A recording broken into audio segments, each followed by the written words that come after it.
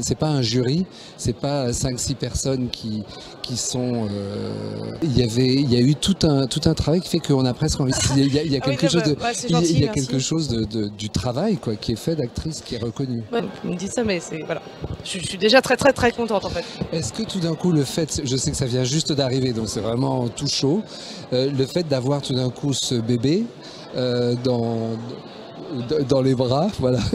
Est-ce que ça, est-ce que ça change déjà quelque chose? Est-ce que vous avez déjà l'impression qu'il y a quelque chose qui va pas être tout à fait comme avant? Le simple fait d'avoir ce signe de légitimité?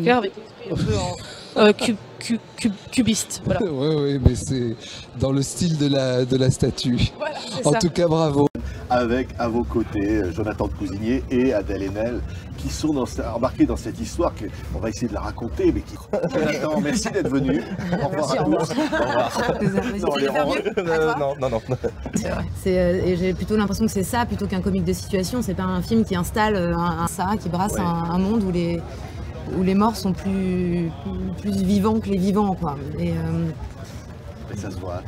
Voilà, ça- c'est un beau film. Ça s'appelle Les héros ne meurent jamais. Audley Raffin, Adèle Haenel, Jonathan Cousinier. Amour possible et c'est ça qui est beau dans ce film. C'est la phrase de Céline. hein, genre- Et, et voilà. Et vous avez eu raison de le faire. Oui. Et Ah on bah- entend un peu de la musique. L'été, Vivaldi, Mettez le casque, mettez le casque. mettez le casque. Sans rien spoiler du film, ça fait partie de la bande originale de Portrait de la jeune fille en feu de Céline Sciamma qui sort en salle mercredi. Et on est heureux que ce soit un film inter. Merci Adèle Haenel d'avoir a réussi à fabriquer un, un récit euh, à partir de personnages, mais pas du tout à partir de... Au fond, moi j'ai toujours pensé que les comédies euh, mettaient en scène des, des personnages au- en, en proie euh, à des situations extrêmement complexes et douloureuses. Beaucoup plus lentement, de dire fort ou, ou- ou doucement certaines choses, et euh, ou alors de les dire en mentant. C'est vraiment le, le cœur de la comédie aussi, hein, c'est que le spectateur soit toujours en avance sur les personnages, c'est-à-dire ce qu'on appelle l'ironie dramatique. Le spectateur, c'est toujours quelque chose qu'un des protagonistes C'est vrai que c'est un endroit qui donne toujours des effets de perspective, c'est pas souvent. Moi, je suis pas trop dans les effets de perspective, je- dans le sens, je me dis pas quel chemin parcouru. je- Mais ici, c'est vrai euh, que, ne serait-ce que par le protocole d'ailleurs, ne serait-ce que par euh, ces images qui sont des images euh, de télévision. It was an artistic decision. Well, it was, I wanted to have this very sensual representation. uh, relation before the shooting. So we created I'm thinking, for example, of Carol, but uh, by, by Todd Haynes. But so Um, yeah, well, the response has been strong, and you know, the movie's been sold all over the world. And what we can see is that, of course, there's a particular culture, but the response is kind of unanimous, and I think.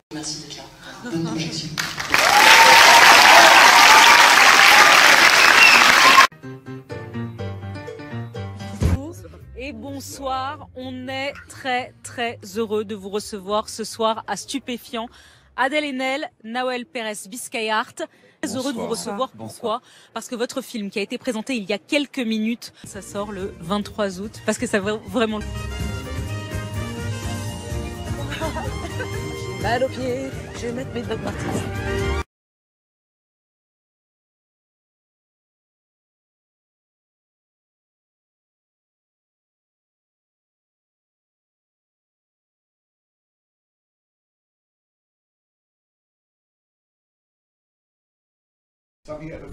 and hopefully uh, Adele Haenel and now we meet And so, about Marianne, who is a painter, I did some um, uh, preparation about, you know, of the, the painter. And then, um as Adele said, uh, we built our uh, um, and a lot of restraint in how you put life in it, you know. Uh, Adele, um, you just mentioned the look um, and especially the look on your face uh, changes over the course of the film. Was that already in the script, that detailed, or did you develop that by yourself? Um, no. So voilà. And when you both first read the script, was the first thought? Oh, shit. Say like that. No. Uh, sorry. What was your opinion? Uh, when I first read the script, uh, first it was just, you know, the power of this love story. Like, how do you feel when you fall in love? And this was so, you know, tr- like true. All the details of the the confusion, the hesitations, uh, and how love lives within us. Um, and then the collaborations between these women, the uh, arts, all the art parts, um, and this female gaze also. Like, wow, I was. This is good. This is good too. Just to read uh, something uh, where you give back just the the the woman's uh, lives, their intimacy, their their uh, envy, their the, the their expressions. It's, it was it was good, a good sensations that I've missed. This is a film that's made by women um, Mhm. behind and in front of the camera, uh, which is just amazing. And I, I personally would like to see more of these kinds of films. Uh, what was your impression? Is the film industry really changing after Me Too and Can you say it again? Is the did the film industry re- really change after all this Me Too and Time's Up movement in the century? It still feels so relevant today. Um, do you both see some parallels to today's life? I would say, dire Is there anything you both can already talk about? What's coming up next? Uh,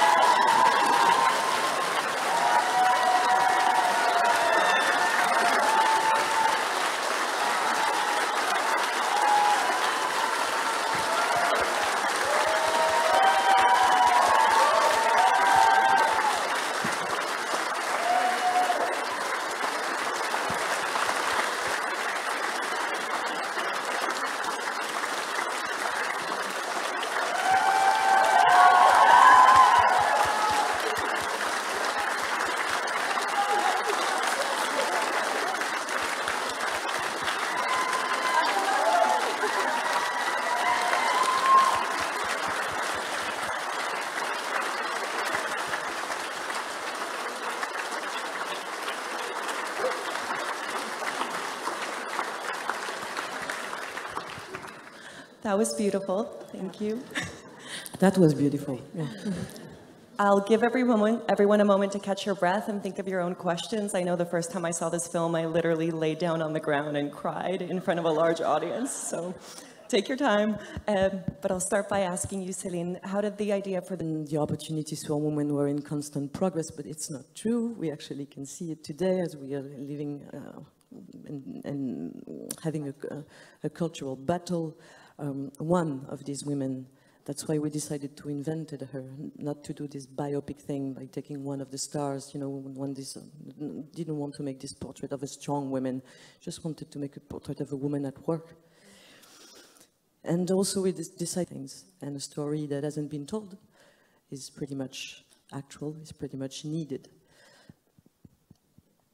Adele and Noemi, I have the same question for each of you. How did you prepare for these roles?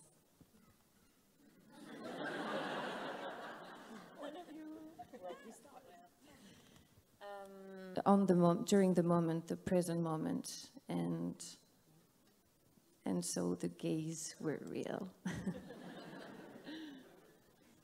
in the, the her kitchen. So, well, I don't know if you understand anything, but I worked before.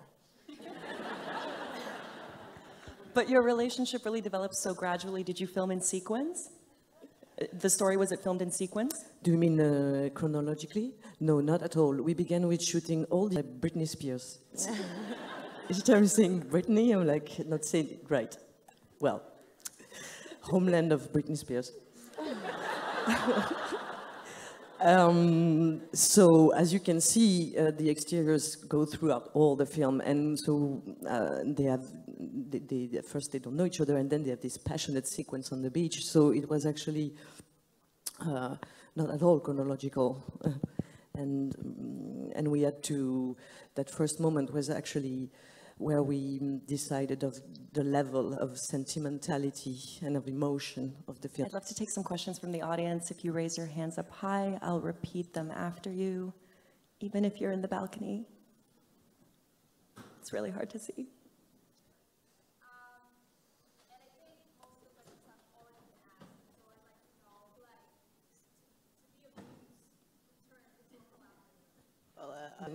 I think it was first to Celine the question, but I think we would answer the same thing, so you can answer. As we are collaborators. yeah. So now I have to reach the same level.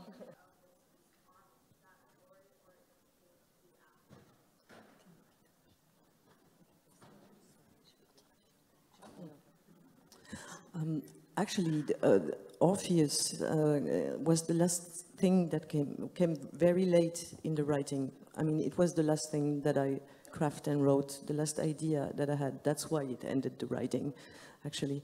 Um, that's why I, I thought the script was over. Um, mostly because it's about um, uh, re- reinventing and revisiting, revisiting the myth. Broken. Uh, I have an, another question for you. You've been talking so much about politics, and you were one of the really early signatories in France of the initiative to have 50-50 representation of women in cinema by 2020. Can you talk about your politics in France and what you recommend for people um, here in Canada? Well, I can't speak to you about the 70s, so thank you. We want to hear your politics. Listen, I want to thank all three of you so much for being here. This is, like I said, I think the most beautiful film of the year. I hope you can all tell your friends and family to see it. It's still showing two more times at the festival. Congratulations, and thank you for joining us. Thank you. And please vote. Là, là, Ben, là. content de vous retrouver. Et bon à prendre, donc c'est que c'est- c'est- c'est- ça nous donne de l'élan, ouais, ça donne confiance. Ouais. On pense au public, évidemment, quand on... Et donc voilà. Oui, bien sûr, le fond, il y a la création, le mystère de la création. Euh, euh, voilà. Hmm. Du coup, pardon, je me suis énervée sur Oui. Non, non, mais c'est vrai. Non, mais c'est vrai, c'est pas le. Non, mais elle a raison. Hein, c'est pas le, Oui. hein, le, le- la peintre et son modèle. C'est. C'est des, femmes qui seraient fétichisées, euh, passives. Merci beaucoup. Merci d'envoyer les balles. Hein. Merci d'envoyer les balles. hein. C'est une envoyeuse de balles. hein. Ah ouais, ouais, ah oui. bah, merci. Merci Adèle, merci Céline, merci, à toutes les trois. Merci Noémie. Et puis allez voir la jeune fille en feu. Merci. the rehearsal process? Uh, well, thank you for, for your attention. Um, um, I must say, when I don't know, so it's the best. It's the best. It's the best way to meet, I think, and I don't know what uh, Noemi would add, but she will add something. Come on. Uh, we are very stressed. We don't know why. Actually, normally we are more quiet, but well. Um, how we prepared, uh, I had some uh, rehearsal for the paintings with uh, Hélène Del- Delmaire, who is the painter of the all the paintings that, that you see. And so she, what was uh, really strong when I saw her painting, it was her gaze, the way she looked at the model that she painted, and that was a big part of the preparation life. I know that she was really intense when I see her in the movies, so I was okay, how it's gonna be. And so she is uh, really intense uh, in real life too. And that was, uh, she, she sent me a lot of, uh, wow, of, of um, a different, uh, how can I say that? I don't know. uh, envoyer des balles. Yeah, you say, well, uh, I can't just say that. Something balls that you would have to catch. How I, I catch this, and it was, you know, creating that in the moment. And just to add, and after we are over, because Celine can speak also, because it's her movie. So I just mean it's something very important is that it was like acting is joyful, and even in the Pour rendre un parapluie, d'abord, pour commencer, on va le faire. On va rendre le parapluie. Mais euh, non, tout simplement, euh, peut-être pour, euh, pour commencer, donc euh, on va organiser cette... Donc, en fait, on a préparé le film pendant, je crois, neuf mois en- au préalable, où on faisait tous les week-ends et puis, euh, et puis parfois les vacances aussi et tout ça. Et Avant de, avant de peut-être de- d'en arriver à Naissance des pieuvres aussi, je- j'ai failli à mon devoir. Je ne vous ai pas présenté, en fait. Quand même, on peut présenter aussi nos, euh, nos invités. Donc, euh, Léa Fener, simplement, à vous dire que, pour renaître peut-être, euh, Adèle. Quand même un vrai début, Naissance des pieuvres. Enfin, Oui, en tout cas, euh, beaucoup d'ailleurs euh, ont l'impression que c'est votre premier film de mes des séances. On en reparlera justement de cette idée de, de comédie, justement, enfin, de cette idée de, de ce genre, en tout cas de la comédie. Bon, alors je me, de- je me demandais si ça allait vous faire plaisir de revoir ça, mais en tout cas, c'était pour parler de ce moment où euh, euh, c'est le casting. Alors je ne sais pas à quel moment là ce- ces images-là interviennent. Ah, c'est pas dans- frappant quand même. Enfin, ce que je dis est un peu. Qu'est-ce qui n'est pas frappant Ouais. Ouais, c'est un- bon. Marrant, je trouve, parce que Pardon. Non, mais vous comprenez ce que je veux dire Je sais pas antisémite ce que je viens de dire. Bon, Il n'y a pas beaucoup de rôles d'enfants. Elle m'a dit c'est comme les acteurs porno, ils savent pas, euh, ils savent pas jouer et tout ça. Faut, faut... Et, et du coup, elle, euh, c'est filmé en fait. Cette, euh, je vous Oui, non, je rappelle que c'est filmé, en fait. Ah, voilà, ok. Et vous avez signé, en plus. Voilà, et j'ai signé. On a tous signé, Euh, sauf Thomas, je crois. Thomas est plus prudent en général. hein. Ouais, D'accord, parfait. Et, et du coup, euh, et du coup, j'ai d'abord vu euh, quelques quelques nageuses. Euh, en deux minutes, dans lesquelles j'ai absolument d'ailleurs rien compris, parce que tu as beaucoup parlé, mais comme on le voit depuis tout à l'heure, Ouais. euh, on peut. euh, On peut comprendre. ouais. Voilà, et ça, ça me- ça- c'est un truc qui, me- qui me plaisait, parce que je me disais, il y a un accès direct à cette, à cette personne. Enfin, rencontre en tout cas où, où les deux personnages euh, se parlent. Euh, Adèle Haenel, parce que moi c'était ça ma référence. Mais ouais, moi ma référence c'était c'est ba- c'est Basic Instinct, la scène de la boîte de nuit, c'était Claire. Elle a été genre, euh, bon, bah, euh, toi tu réalises et moi je, je joue ce qu'on m'a dit de jouer. Voilà. Et, c'est- et je commence pas à la ramener pour savoir exactement quel est l'enjeu de la scène et tout ça. On, on parlait tout à l'heure de la. Non mais merci. Oui.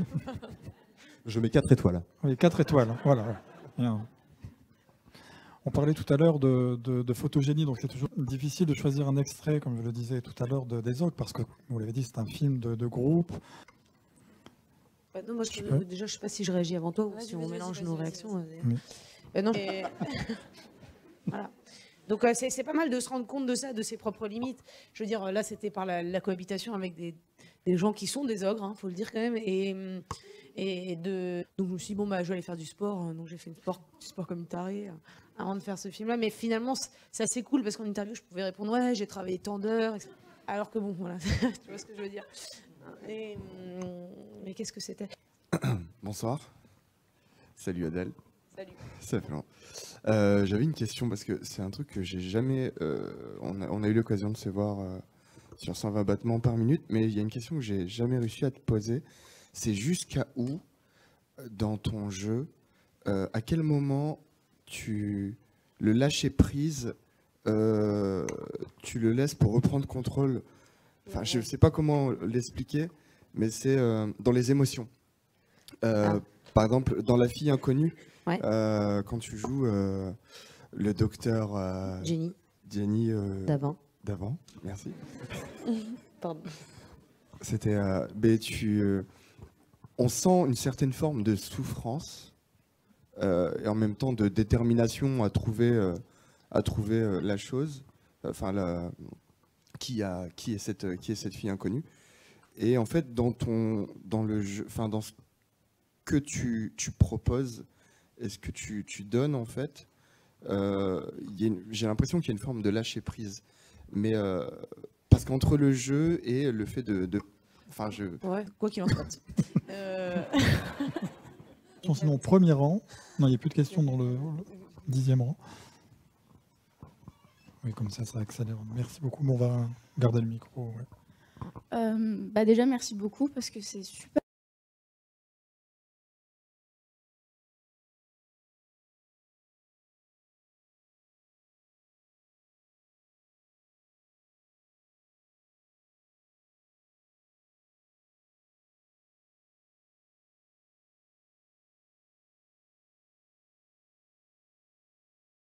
Au Festival de Cannes.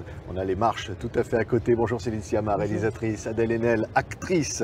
Et puis Noémie Merlan, qui dans ce film nous amène au XVIIIe siècle avec un de portrait de femme.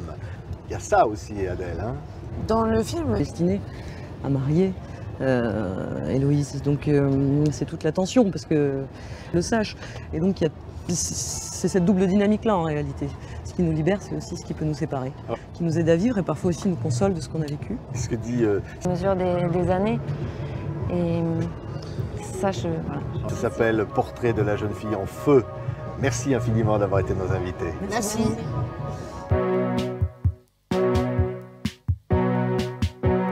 So lovely to meet you. So, for people who don't know anything about Portrait of a, Portrait, I'm saying for audiences at home who don't know about the film, how would you describe it to them? Well, uh, well, it's a movie about love. And what attracted you to the role of Heloise? And what what was it about this character that you wanted? To, why you wanted to play her so much? Well, and what was it like to work with Celine as a as a fil- filmmaker? Because she's incredible. You know, what what is she like as a director? And this changed a lot. And you know, we do, I just feel like there's a shift underway where, and it's a period set piece, but it does explore some really fascinating themes. You know, kind of be completed. So uh, that was the hard part, the hardest, the only hard part in that shooting in continuity is that you had to produce a whole exhibition that will be at the Met uh, in for the release on December 6th. And did you have a particular paint, historic painter? Because I, I played in L'Apollonide, which is another period piece, French. Uh, well, I didn't really wanted to play a period piece, which means like it involved a lot of cliche from the representation of this specific period of time that is the 18th century. So I, I'd rather like, I mean, um, limit for uh, like. uh? Sorry for, for my English now, it's mi- missing, but uh, I, yes, we, sorry. Sorry. I'll make it. Your relationship to each other changes. And Start like even the dress was less tight, you know. um, there are not many films about two women in love who are grown-up women. There are a lot of films now about girls coming of age and finding each other. But you can count on one hand, pretty much, um, the I ones did four of them. Four of them. De nada. Yeah. So, um, did you feel that you audience, which you belong to, uh, is uh, can feel that it's it's more than you just have to do it. You, there's no there's no way you can miss it, you know. So so this is how I did it. Voilà. another